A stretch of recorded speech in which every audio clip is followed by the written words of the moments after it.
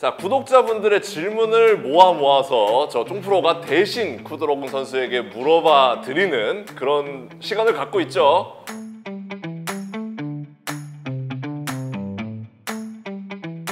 오늘의 주제는 연습 방법. 우리가 지금 당구 실력이 늘려면 연습을 해야 된다, 연습을 해야 된다 많이 듣고서 다 알고 있어요. 근데 막상 어떤 배치를 연습해야 되는지, 어떤 연습을 해야 되는지, 그리고 얼마나 해야 되는지 모르지 않습니까? 그래서 쿠드롱 선수가 추천하는 당구 실력을 빠르게 향상시킬 수 있는 연습 방법 한번 여쭤보도록 하겠습니다. So about myself, I don't have a specific uh, practice, but most of the time when I practice, I try to practice on the shots which I don't like.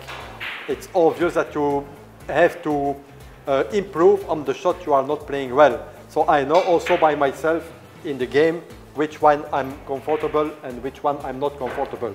That is the first point. The second point uh, on practice for me is very important to practice on the shots that are touching the short cushion first. Because uh, in the statistics, I show you an example. We don't play so many shots from the short cushion like this, one, two, three, four. Normally, you have many times another option. So, because you don't practice too much, you are not comfortable with this one.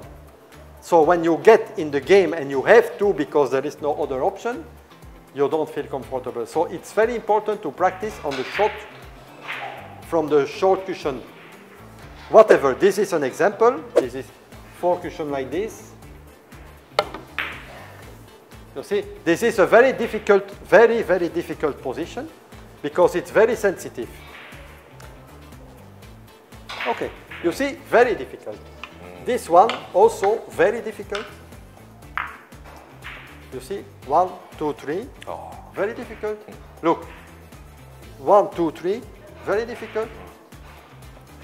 One, two, three, very difficult. So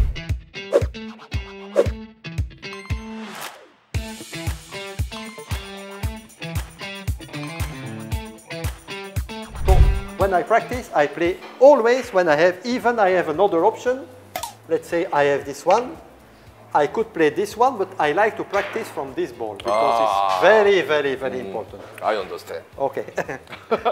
어, 설명, 설명 어, 여러분들 다 이해하셨을 거예요. 제가 지금 배치를 딱 좋은 것 같아요. 지금 배치가 지금 옆 돌리기를 쉽게 칠 수 있는 상황이에요. 옆 돌리기를 칠 수 있는 상황인데 지금 쿠드롱 선수 말씀은 장 쿠션을 맞춰서 해결하는 공들은 어, 이미 경지에 오르셨고 했기 때문에 너무 쉽다고 하십니다. 그리고 오히려 이제 단 쿠션을 먼저 단 쿠션을 원 쿠션으로 노리는 그런 배치들이 굉장히 어렵기 때문에 그런 배치들을 일부러 좀 특정적으로 연습을 한다고 하십니다.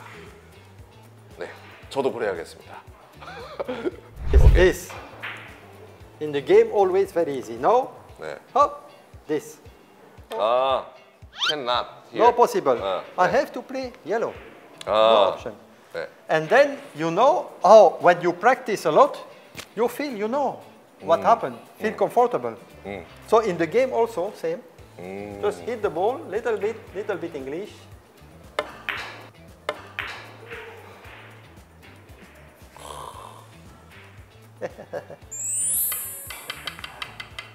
wow.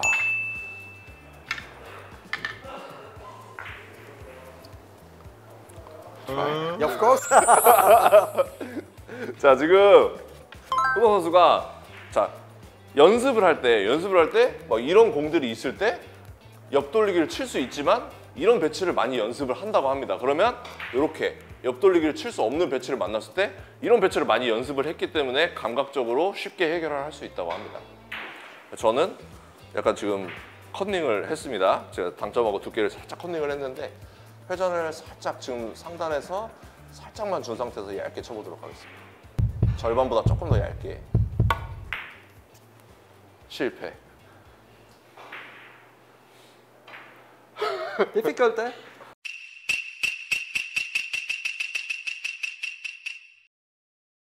Difficult, eh? But Not practice. it's okay, it's Oh. good. But when you practice, you, you, if you play a lot on practice, you will realize your percentage increase, 음, your average increase, because Yeah. these balls always giving good position. This is difficult. Mm. This side difficult. No, I play one, two, three, four. Very difficult, eh? But look if I make with position after.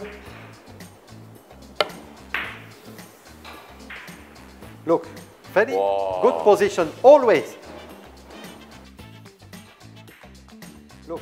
Very Wow. good position.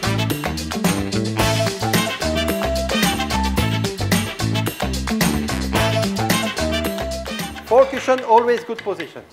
With the good speed, soft speed. Very important.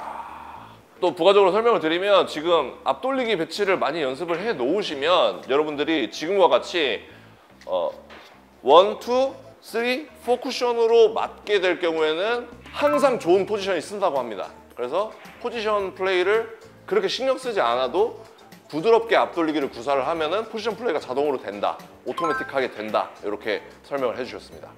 그래서 당 쿠션을 먼저 맞추는 연습이 필요하다고 지금 말씀하신 겁니다.